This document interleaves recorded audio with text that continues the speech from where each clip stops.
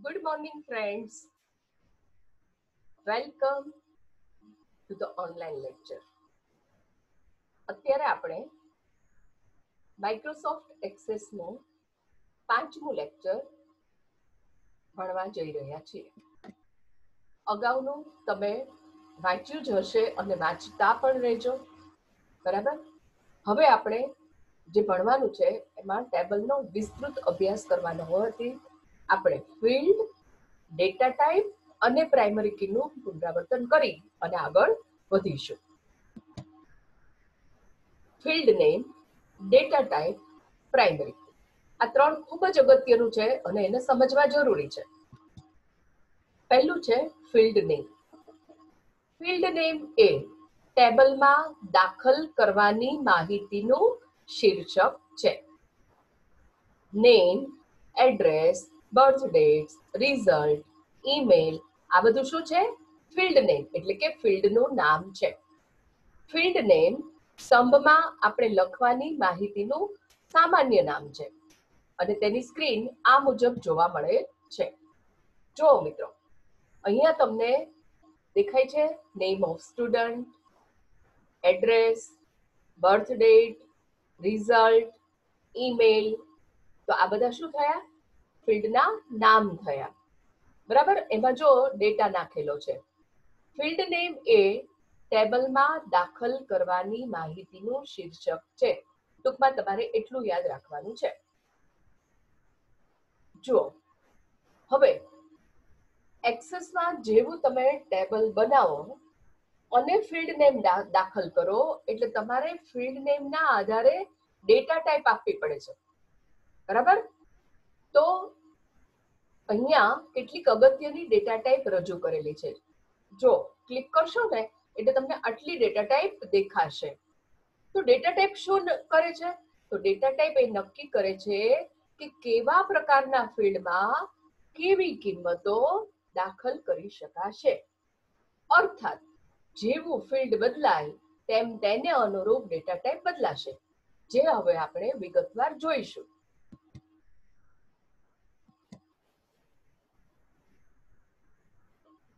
દરેક data type ચોક્કસ ખાસિયત ધરાવે છે. એમ ગમે તેમ ડેટા ટાઈપ આપી શકાતી નથી. ડેટા ટાઈપ આપો ને તો એની ખાસિયત છે ને એ પ્રમાણે જ આપણે એને આપવી પડે છે. આ ખાસિયતના આધારે જ તેને ફિલ્ડ નેમ માટે પસંદ કરાય છે, ગમે તેમ આપવાની નથી. દાખલા તરીકે, જો તમારે નામ લખવાનું હોય તો તમારે આંકડા લખવાની તો જરૂર નથી.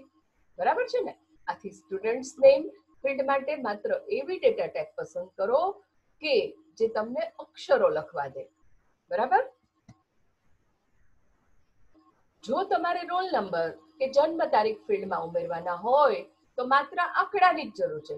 શબ્દોની નહીં, તો રોલ નંબર બર્થ ડેટ વગેરે માટે એવી ડેટા ટાઈપ પસંદ કરો જેમાં તમે માત્ર આંકડા લખી શકો છો. ખ્યાલ આવ્યો ને? હવે જુદી જુદી ડેટા ટાઈપ કેવી વિશિષ્ટતા ધરાવે છે તેનો અભ્યાસ આપણે આગળ કરીશું. પહેલી ડેટા ટાઈપ છે ટેક્સ્ટ જો મિત્રો મેં ફિલ્ડના નામમાં આપ્યું છે સ્ટુડન્ટ નેમ હવે મારે સ્ટુડન્ટ નેમ માટે કઈ ડેટા ટાઈપ પસંદ કરવી? તો હું ક્લિક કરીશ ને, તો આટલી ડેટા ટાઈપ મને જોવા મળશે. એમાંથી મારે સ્ટુડન્ટ નેમ માટે કઈ અનુરૂપ પડે? તો ટેક્સ્ટ તો ટેક્સ્ટ ડેટા ટાઈપની ખાસિયત શું છે? તો ટેક્સ્ટ ડેટા ટાઈપ શાબ્દિક માહિતી કે જેમાં અક્ષરો, આંકડાઓ, નિશાનીઓ તથા ખાલી જગ્યાઓ હોય તે દાખલ કરવા ઉપયોગી છે. દાખલા તરીકે ફૂલ નેમ તમારું નામ લખવાનું છે એડ્રેસ લખવાનું છે પિનકોડ લખવાનો છે બુક આઈડી સરનેમ વગેરેનો પ્રકાર ટેક્સ્ટ ટેક્સ્ટ ડેટા ટાઈપ હોઈ શકે. આટલું તો ખ્યાલ આવી ગયો ને? કે જ્યારે મારે આવું બધું કંઈક લખવાનું છે, અંદર દાખલ કરવાનું છે, ત્યારે મારે ટેક્સ્ટ ડેટા ટાઈપ રાખવો પડે. ટેક્સ્ટ પ્રકારના ફિલ્ડમાં તમે વધુમાં વધુ બસો પંચાવન અક્ષરો દાખલ કરી શકો છો. હવે આપણું બીજું ફિલ્ડ નેમ આવ્યું રિમાર્ક્સ જો એક એક એક ફિલ્ડ ઉમેરાતા જાય છે, એની સામે આપણે એની ડેટા ટાઈપ પસંદ કરીએ છીએ, એને અનુરૂપ ડેટા ટાઈપ પસંદ કરીએ છીએ. જેમ તેમ પસંદ કરવાની નથી. રિમાર્ક્સ છે. રિમાર્ક્સમાં શું હોય, ઘણું બધું લખવાનું હોય. તો આપણે એની ડેટા ટાઈપ કેવી પસંદ કરવી પડશે? તો મેમો ડેટા ટાઈપ બરાબર? તો મેમો ડેટા ટાઈપનો ઉપયોગ એવી વર્ણનાત્મક માહિતી જેમાં બસો પંચાવન અક્ષર કરતા વધુ અક્ષરોની જરૂર હોય. ખાસ યાદ રાખજો, જેમાં બસો પંચાવન અક્ષરો કરતા વધુ અક્ષરોની જરૂર હોય, તે દાખલ કરવું હોય ત્યારે મેમો ડેટા ટાઈપ ઉપયોગી છે. મેમો ડેટા ટાઈપમાં આપણે ચોસઠ હજારથી પણ વધુ અક્ષરો લખી શકીએ છીએ. સમજાઈ ગયું? ચોસઠ હજારથી પણ વધુ અક્ષરો આપણે એમાં લખી શકીએ છીએ. તો રિમાર્ક્સ બુક રિવ્યુ વગેરેની ડેટા ટાઈપ કેવી હોઈ શકે? મેમો ડેટા ટાઈપ હોઈ શકે. ત્રીજું ફિલ્ડ છે એજ બરાબર? હવે એજ છે એટલે કે ઉંમર. તો તમને સમજાશે કે એમાં તો નંબર જ હોય. તો આપણે કઈ ડેટા ટાઈપ પસંદ કરી? નંબર નંબર ડેટા ટાઈપનો ઉપયોગ સાંખ્યિક માહિતી દાખલ કરવા માટે થાય છે.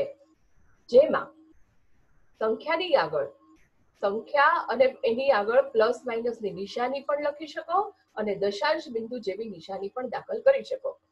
બરાબર? એટલે અહીં તમે ગણિતિક પ્રક્રિયાઓ પણ કરી શકો છો. એટલે કે દાખલા તરીકે age standard number of page તમારા માર્ક્સ આવું બધું જો મારે દાખલ કરવું હોય ને, તો એનો ડેટા ટાઈપ મારે નંબર લેવી પડે. બર્થ ડેટ બર્થ ડેટ એટલે દેખાય જ છે ડેટ એન્ડ ટાઈમ બરાબર? ડેટ એન્ડ ટાઈમ ડેટા ટાઈપનો ઉપયોગ તારીખ તથા સમય દાખલ કરવા માટે થાય છે. બર્થ ડેટ એટલે તમારી જન્મ તારીખ. બરાબર? હવે અહીં તે એમએમડીડીવાયવાય ના સ્વરૂપમાં સ્વીકારે છે. બરાબર? એટલે કે ત્રીસ નવેમ્બર બે હજાર સત્તર દાખલ કરવા માટે અગિયાર, ત્રીસ, સત્તર એવું કરવું પડે. બરાબર? કારણ કે કમ્પ્યુટર પહેલા મહિનો લેશે, પછી દિવસ લેશે અને પછી વર્ષ લેશે. બરાબર? Birth date joining date, recess time વગેરેની ડેટા ટાઈપ આ હોઈ શકે. Term fee. ફી શબ્દ આવ્યો. બરાબર? એટલે પૈસાને લગતી માહિતી છે. એટલે એની ડેટા ટાઈપ કેવી હોય? કરન્સી બરાબર? જે નંબર કોઈ નાણાકીય કિંમત રજૂ કરે ને મિત્રો, તો તેને કરન્સી ડેટા ટાઈપ તરીકે લઈ શકાય. કરન્સી ડેટા ટાઈપ તમે દાખલ કરો ત્યારે તે કિંમતની આગળ જે તે ચલણની નિશાની દર્શાવે છે. દાખલા તરીકે ડોલર રૂપીસ વગેરે. ટર્મ ફી પ્રાઇસ સેલરી આ બધું કરન્સીમાં આવે. રોલ નંબર રોલ નંબર છે નંબર. પણ અહીંયા આપણે એને ઓટો નંબર તરીકે લીધું છે. તો ઓટો નંબર પ્રકારનું ડેટા ટાઈપ ફિલ્ડ માટે તેની કિંમત જાતે જ લઈ લે છે. અને આપણે તેમાં કશું દાખલ કરી શકતા નથી. કમ્પ્યુટર જાતે જ લઈ લેશે જ્યારે ઓટો નંબર કરો ને ત્યારે. અને તેમાં હારબંધ નંબર જાતે જ ઉમેરાઈ જાય. એક પછી એક. એટલે આપણે તેને બદલી શકતા નથી. બરાબર? એટલે રોલ નંબર સિરિયલ નંબર આવું જ્યારે હોય ને, કે જે જાતે જ એક પછી એક નંબર લઈ લેવાના હોય, ત્યારે ઓટો નંબર એને લઈ લેવામાં આવે છે. પ્રેઝન્ટ ઓર એબસન્ટ વિદ્યાર્થી હાજર છે કે ગેરહાજર? તો એનો જવાબ યસ ઓર નો માં હોઈ શકે.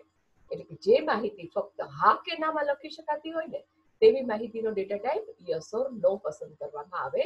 છે પ્રેઝન્ટ એબસન્ટ પાસ કે ફેલ અવેલેબલ છે કે નથી અવેલેબલ વગેરે જેવા field student photo OLE object object linking and embedding બરાબર? આ ડેટા ટાઈપ ક્યારે ઉપયોગમાં લેવામાં આવે છે? તો જ્યારે ટેબલમાં ફોટા, સંગીત તથા અન્ય મલ્ટીમીડિયા ફાઇલ ઉમેરવાની હોય ને, ત્યારે OLE ઓબ્જેક્ટનો ઉપયોગ થાય છે. એનું પૂરું નામ ઓબ્જેક્ટ લિંકિંગ એન્ડ એમ્બેડિંગ તમારે યાદ રાખવાનું છે. બરાબર? એક્ઝામ્પલ તરીકે સ્ટુડન્ટનો ફોટો હોય સ્પેસિમેન સાઇન હોય વોઇસ હોય, તમારો અવાજ, તો એ બધું ઓએલીમાં થાય. હાઇપરલિંક અહીંયા છે ઈમેલ એડ્રેસ બરાબર?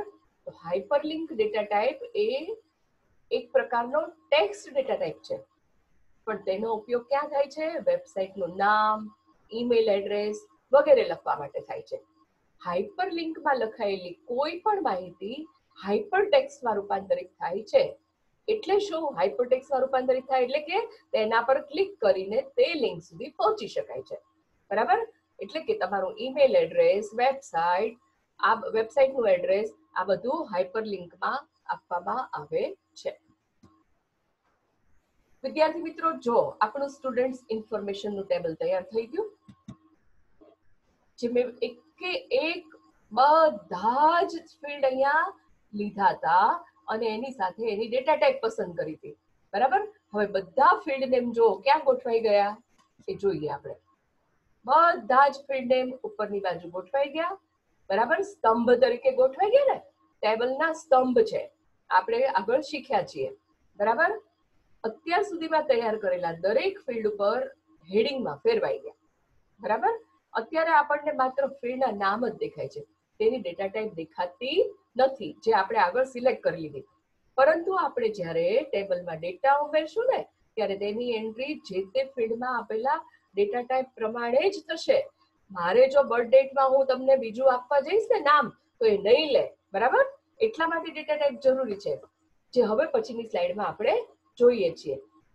જો મિત્રો યાદ કરો આ ચેપ્ટરની શરૂઆતમાં મેં કહેલું કે ટેબલ એ એક્સેસનો પાયાનો ઘટક છે. ટેબલ વગર એક્સેસમાં કશું જ આગળ વધી શકાય નહીં. તે કોલમ અને રો માં વિભાજિત થયેલું હોય છે. કોલમ આપણે અહીંયા જોઈ શક્યા તમે. જો કોલમને ફિલ્ડ તરીકે અને રો ને રેકોર્ડ તરીકે ઓળખવામાં આવે છે. આ બરાબર યાદ કરવાનું છે. અહીં તમે જોઈ શકો છો કે આપણે દરેક ફિલ્ડમાં તેને અનુરૂપ ડેટા એટલે કે રેકોર્ડ ઉમેર્યા છે. જો સ્ટુડન્ટ્સ નેમ તો પહેલો રેકોર્ડ છે ગુંજન, એટલે કે સ્ટુડન્ટનું નામ છે ગુંજન. તેનું રિમાર્ક્સ પણ લખેલું છે. ઘણું બધું લાંબુ છે, એટલે એને મેમો આપેલું છે. એની એજ લખી છે, બાર વર્ષ બર્થ ડેટ લખી છે. પછી એની ફી લખી છે. અત્યારે ફીની આગળ ડોલરની નિશાની છે. બરાબર? પછી હું સમજાવીશ કે એને રૂપીઝમાં કેવી રીતે કન્વર્ટ કરી શકાય. પછી રોલ નંબર છે, તે ઓટો નંબર છે, એટલે જો એક, બે, ત્રણ એની જાતે જ ઉમેરાઈ જશે, હો મિત્રો. ઓટો નંબર છે ને? પ્રેઝન્ટ એબસન્ટ છે, જો એમાં ટિક માર્ક છે, ખરાની નિશાની છે એટલે એ પ્રેઝન્ટ છે. અને ન હોય તો ખાલી બોક્સ હશે. પછી સ્ટુડન્ટનો ફોટો તો અત્યારે આપણે સ્કેન કરીને મૂક્યો નથી. એ ઓઇલી ઓબ્જેક્ટ છે. પછી ઈમેલ એડ્રેસ છે, જો એ હાઇપર લિંક છે, એટલે ત્યાં ક્લિક કરો, એટલે સીધું તમારું ઈમેલ ખુલી જાય. બરાબર? એટલે આ રીતે ફિલ્ડ અને તેને અનુરૂપ ડેટા ટાઈપના ઉપયોગથી સ્ટુડન્ટ ઇન્ફોર્મેશન ટેબલ તૈયાર થયું છે. આ આપણે ટેબલનું નામ શું આપ્યું મિત્રો? Students information. તમારે તમારું નામ પણ આપી શકો. આપણે આગળ જોયું કે એક્સેસમાં ટેબલ બનાવતા પહેલા તમારે ફિલ્ડ નેમ, ડેટા ટાઈપ અને પ્રાઇમરી કીનો અર્થ. અને એનું મહત્વ સમજવું ખૂબ જરૂરી છે. અત્યાર સુધીમાં આપણે ફિલ્ડ નેમ અને જુદી જુદી ડેટા ટાઈપ વિશે જોયું. ચાલો મિત્રો, હવે આપણે પ્રાઇમરી કી વિશે વાત કરીએ. પ્રાઇમરી કી શું છે? તો પ્રાઇમરી કી એક અજોડ ફિલ્ડ છે જે ચોક્કસ રેકોર્ડને ઓળખવા માટે ઉપયોગી છે. પ્રાઇમરી કીની કિંમત અનન્ય હોય છે. એ રિપીટ નથી થતી, હો. એક જ હોય. તમારો રોલ નંબર એક, બે, ત્રણ એવી રીતે હોય તો એમ જ હોય. પછી પાંચ રોલ નંબરના બે વ્યક્તિ હોય નહીં. અને જે ફિલ્ડને પ્રાઇમરી કી તરીકે પસંદ કરીએ ને મિત્રો, તો તે તેમાં રિપીટ થતું નથી. એકને એક રોલ નંબર ફરીવાર રિપીટ થઈ શકે જ નહીં. બરાબર? અને એક જ ટેબલમાં એક જ પ્રાઇમરી કી હોય છે. આ યાદ રાખવાનું છે. કોઈ પણ ફિલ્ડને પ્રાઇમરી કી બનાવવા શું કરવાનું છે? તો તેની ડાબી બાજુ રાઈટ ક્લિક કરી પ્રાઇમરી કી વિકલ્પ પસંદ કરો, અથવા બીજું શું કરી શકાય? તો ડિઝાઇન ટેબ પરથી પ્રાઇમરી કી વિકલ્પ પસંદ કરો. આ બે રીત છે. પ્રાઇમરી કી બનાવેલા ફિલ્ડની ડાબી બાજુ તમને ચાવીની નિશાની દર્શાવાય છે. બરાબર? એટલે સમજી જવાનું કે આ પ્રાઇમરી કી છે. ચાલો મિત્રો, હવે આપણે ટેબલ બનાવતા શીખીએ. તો ટેબલ બનાવવા માટેની બે પદ્ધતિઓ છે. કેટલી પદ્ધતિ છે? બે. ચાલો, આપણે બંને પદ્ધતિ એક પછી એક જોઈ લઈએ. જો, પહેલી પદ્ધતિમાં શું છે? ટેબલ બનાવવા માટે સૌ પ્રથમ તો પહેલા કોરું ડેટાબેઝ ખોલવું પડશે. આટલું તો પહેલા કરવું જ પડશે. બરાબર? એટલે બ્લેન્ક ડેટાબેઝ પર ક્લિક કરો. એ તો બંને પદ્ધતિમાં કરવાનું છે. બ્લેન્ક ડેટાબેઝ તમારે ખોલવાનું છે.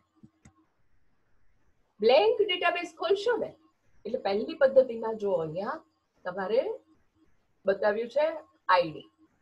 બરાબર? એક્સિસના નવા ટેબલમાં પહેલેથી આઈડી ફિલ્ડ બનાવી દેશે. અને એને પ્રાઇમરી કી પણ બનાવી દેશે. બરાબર? અને પછી એડ ન્યુ ફિલ્ડમાં તમારે જવાનું છે. જો ઉપર ડેટા ટાઈપ લખ્યું છે. બરાબર? ત્યાંથી તમારે એક એક ડેટા ટાઈપને પસંદ કરવાની છે. હવે નવું ફિલ્ડ ઉમેરવા ડેટા ટાઈપ પસંદ કરો અને તમે જેવું ડેટા ટાઈપ પસંદ કરશો કે તરત જ એ ફિલ્ડ વન નામનું ફિલ્ડ બનાવશે. બરાબર? ડેટા ટાઈપ પસંદ થઈ ગયા પછી એ જાતે શું બનાવશે? ફિલ્ડ વન નામનું ફિલ્ડ બનાવશે. જે હવેની પછીની સ્લાઇડમાં આપણે જોઈએ છીએ. જો. બની ગયું મિત્રો? જો આઈડી તો એને જાતે જ લઈ લીધું હતું બરાબર? ઉપર મેં ટેક્સ ડેટા ટાઈપ પસંદ કરી. જો મેં આખું સર્કલ કરીને બતાવ્યું છે. તો નીચે ફિલ્ડ વન આવી ગયું. જોયું ને? ફિલ્ડ વન નામનું ફિલ્ડ બની ગયું. તેની ડેટા ટાઈપ ટેક્સ્ટ છે. હવે તેને આપણે અર્થપૂર્ણ નામ આપવાનું છે. આપણે ફિલ્ડ વન નામ નથી આપવાનું. આપણે તો આપણને સમજાય એવું નામ આપવું પડે ને? એટલે આપણે ત્યાં શું લખ્યું? સ્ટુડન્ટ નેમ એવું નામ આપીશું. જો. જોયું મિત્રો? આઈડીમાં એક આવી ગયું. ફિલ્ડ વનમાં સ્ટુડન્ટ નેમ આવી ગયું. એટલે આપણું અહીંયા અર્થપૂર્ણ નામ સ્ટુડન્ટ નેમ આપ્યું. એટલે આપણું પહેલું ફિલ્ડ જે છે, એનું નામ શું થયું? સ્ટુડન્ટ નેમ આ રીતે ડેટા ટાઈપ પસંદ કરો અને એડ ન્યુ ફિલ્ડ કરી. જેટલા ફિલ્ડ બનાવવા હોય ને તમારા મિત્રો, એટલા તમે બનાવી શકો છો. હવે એડ ન્યુ ફિલ્ડ અને આપણે આખું જે ટેબલ છે, એ પછી જોઈએ છીએ કેવી રીતે બને છે. એક એક એક ડેટા ટાઈપને પસંદ કરીને. હવે પદ્ધતિ બે. આ પહેલી પદ્ધતિ હતી. પદ્ધતિ બે માં શું કરવાનું છે? તો તમારે આગળની પદ્ધતિ જો ઉપયોગમાં ન લેવી હોય, તો જો ઉપર ક્રિએટ ટેબ છે. મેં લાલ ચોરસમાં ક્રિએટ પર નિશાની કરી છે. જુઓ એ ક્રિએટ ટેબ પસંદ કરવાનો ક્રિએટ ટેબમાં તમારે ટેબલ ડિઝાઇન પસંદ કરવાનું છે, એટલે હવે પછીની સ્ક્રીન જોવા મળશે. જો મિત્રો આ પદ્ધતિમાં શું થયું છે? કે ફિલ્ડ નેમ અને ડેટા ટાઈપ અને ડિસ્ક્રિપ્શન ત્રણેય વસ્તુ સ્ક્રીન પર દર્શાવી છે. તો એ જાતે જ દર્શાવી દે છે. સ્ક્રીનમાં બતાવ્યા પ્રમાણે ફિલ્ડ નેમ ડેટા ટાઈપ અને ડિસ્ક્રિપ્શન તમારે દાખલ કરવાના છે. હવે ડિસ્ક્રિપ્શન લખવું છે ને એ ફરજિયાત નથી, એ વૈકલ્પિક છે. તમે છોડી શકો છો. બરાબર? હવે પછીની સ્ક્રીનમાં ફિલ્ડ નેમ અને ડેટા ટાઈપ લખીને તૈયાર કરેલ છે. તે જો, આપણે જોઈએ. જો મિત્રો, અહીંયા મેં પાઠ્યપુસ્તક પ્રમાણેનું ટેબલ તૈયાર કરેલ છે. એનું પહેલું જે ફિલ્ડ છે ને એસઆર એનો એની ડેટા ટાઈપ છે એ મેં કઈ રાખી છે? Auto number. બરાબર? હવે ડિસ્ક્રિપ્શન મેં લખ્યું છે આમાં. એટલે લખ્યું છે કે મારું ટેબલ કોઈ આમ નામ જોતું હોય તો એને વિચાર થાય કે એસઆર એનો વળી શું છે? બરાબર? મને ખબર હોય, પણ બીજાને ન ખબર હોય. એટલે મેં ડિસ્ક્રિપ્શન લખ્યું કે એસઆર એનો નો મતલબ થાય છે સિરિયલ નંબર મેં ડિસ્ક્રિપ્શન આપી દીધું. બરાબર? બીજું છે બુક આઈડી અને એનું ડેટા ટાઈપ મેં પસંદ કર્યું છે ટેક્સ્ટ પછી છે બુક ટાઇટલ એ પણ ટેક્સ્ટ પસંદ કર્યું છે. ઓથર એટલે કે લેખક. બુકના લેખક કોણ છે? એ પણ ટેક્સ્ટમાં છે. ડીઓપી ડેટ એન્ડ ટાઈમ છે. ડીઓપી નું ડિસ્ક્રિપ્શન આપ્યું છે. ડેટ ઓફ પરચેઝ મેં બુક કઈ તારીખે પરચેઝ કરી છે? એ આપ્યું છે. પ્રાઇસ એટલે કે એની કિંમત છે અને એ રૂપિયામાં છે. એટલે કરન્સી આપ્યું. બરાબર? એનઓપી નંબર છે. અને એનું ડિસ્ક્રિપ્શન છે નંબર ઓફ પેજીસ બુકમાં કેટલા પેજીસ છે એ દર્શાવેલું છે. અવેલેબલ યસ ઓર નો આપ્યું છે. એટલે કે લાઇબ્રેરીમાં બુક અવેલેબલ એટલે કે ઉપલબ્ધ છે, હાજર છે કે નહીં? તો એ યસ ઓર નો આપ્યું છે.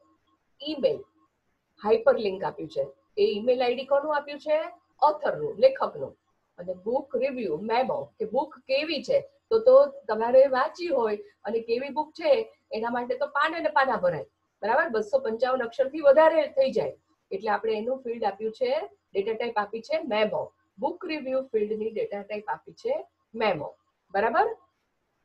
એટલે અહીંયા આ ટેબલ આપણું પસાર થઈ ગયું. ટેબલ વન બરાબર? અને એ ટેબલને શું નામ આપ્યું છે આપણે? માસ્ટરના નામથી સેવ કર્યું છે. બરાબર? હવે આપણે આગળ જોઈએ. ટેબલનું આખું તમારે માળખું તૈયાર થઈ ગયું. બરાબર? એટલે આપણે એના ફિલ્ડ નેમ પસંદ કરી લીધા અને આપણે એની ડેટા ટાઈપ પણ પસંદ કરી લીધી. બરાબર? આપણું માસ્ટર ટેબલ અહીંયા તૈયાર છે. જો માસ્ટર લખેલું આવી ગયું હવે માસ્ટર ટેબલમાં ડેટા આપણે નાખવાનો છે. બરાબર? આગળની સ્ક્રીનમાં જોયેલા તમામ ફિલ્ડ તમે જો, ઉપર ગોઠવાઈ ગયા. SRNO book ID book title author DOP જેટલા ફિલ્ડ મિત્રો આપણે લીધા હતા ને બધા જો અહીંયા સ્તંભ તરીકે ગોઠવાઈ ગયા. બરાબર? હવે પછી આ ટેબલમાં આપણે માહિતી દાખલ કરવાની છે. એ કેવી રીતે કરવાની છે એ જોઈએ છીએ. બરાબર? પરંતુ માહિતી દાખલ કરતા પહેલા આપણે કેટલાક મુદ્દાઓ ધ્યાનમાં રાખવાના છે. બરાબર? તો એ મુદ્દાઓ વિશે આપણે જોઈએ. માહિતી દાખલ કરતા પહેલા નીચેના મુદ્દા ધ્યાનમાં લ્યો. આ બધા બહુ ધ્યાનથી સાંભળજો અને સમજજો, હો મિત્રો. Auto number that is serial number ફીડની કિંમત આપમેળે લખાઈ જાય છે. તમે આ ફીડની કિંમત લખી કે બદલી શકો નહીં. આપણે પહેલા જ કહી દીધું ઓટો નંબરની કિંમત લખી કે બદલી શકાય નહીં.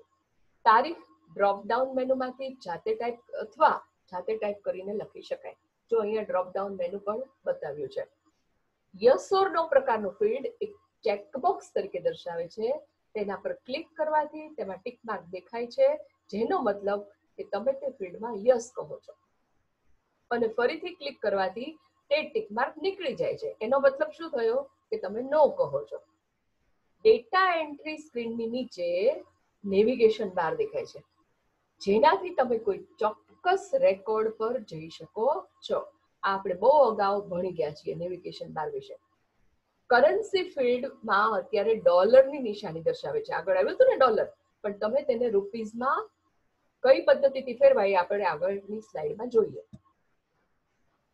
આપણે ઇન્ડિયામાં રૂપીઝ હોય, તો એને કન્વર્ટ કરવું હોય, તો કઈ રીતે કરી શકાય છે? તો કંટ્રોલ પેનલમાં જવાનું છે. બરાબર? દેખાયું તમને? કંટ્રોલ પેનલની બધી જ આઈટમો અહીંયા દર્શાવશે. એમાંથી તમારે ક્યાં જવાનું છે? રિજિયનમાં જવાનું છે. જો મેં એરો કર્યો છે અને દર્શાવ્યું છે કે અહીંયા ક્લિક કરો તેમાં ક્લિક કરવાની છે? રિજિયનમાં રિજિયનમાં ક્લિક કરશો ને મિત્રો, એટલે જો આખું રિજિયનનું મેનુ ખુલશે. બરાબર? એમાં તમારે એક એક એક એક વસ્તુ તમારે જે કરવાનું છે સેટિંગ બદલવાના છે, બરાબર? પણ આપણે એ અત્યારે ડેટના સેટિંગમાં નથી જતા. તમારે કરન્સીનું સેટિંગ બદલવાનું છે, એટલે એડિશનલ સેટિંગમાં ક્લિક કરવાની છે. ક્યાં ક્લિક કરવાની છે? એડિશનલ સેટિંગમાં જો મેં બે દર્શાવે દર્શાવ્યું છે કે ક્યાં ક્લિક કરો, તો કે રિજિયનમાં રિજિયનમાં ક્યાં જવાનું છે? એડિશનલ સેટિંગ્સમાં બરાબર? હવે એડિશનલ સેટિંગ્સમાં કરન્સીમાં બરાબર કસ્ટમાઇઝ ફોર્મેટ છે. કસ્ટમાઇઝ એટલે તમે જાતે તમારું ફોર્મેટ કરી શકો, અંદર રૂપીઝની સાઇન ન હોય તો આપણે જાતે લખી શકીએ. એટલે કરન્સીમાં જવાનું છે. બરાબર? કરન્સીમાં કરન્સી સિમ્બોલ પર જવાનું છે અને ત્યાં મેં આરએસ લખ્યું છે. બરાબર? આ રીતે હું ડોલરમાંથી રૂપીઝમાં કન્વર્ટ કરી શકીશ. અને ઓકે દબાવીએ. બરાબર? એટલે આપણા સેટિંગ બદલાઈ જાય. મિત્રો, આવતા વખતે આપણે ટેબલમાં ડેટા એન્ટ્રી કેવી રીતે કરવાની છે ને એ જોઈશું. જો મિત્રો, આજનું લેક્ચર એટલું બધું અગત્યનું છે કે અને થોડુંક તમને ટફ પણ પડે. જો વારંવાર ન જોવો ને તો યાદ પણ ન રહે. એટલે આજનું લેક્ચર ખૂબ અગત્યનું છે. એને વારંવાર જોઈને તમારે યાદ રાખવાનું છે. તો જ તો જ તમને પ્રેક્ટિકલ વખતે મુશ્કેલી નહીં પડે. એટલે મિત્રો, તમને વિનંતી છે કે ખાસ આ લેક્ચર બરાબર ધ્યાનથી જોજો.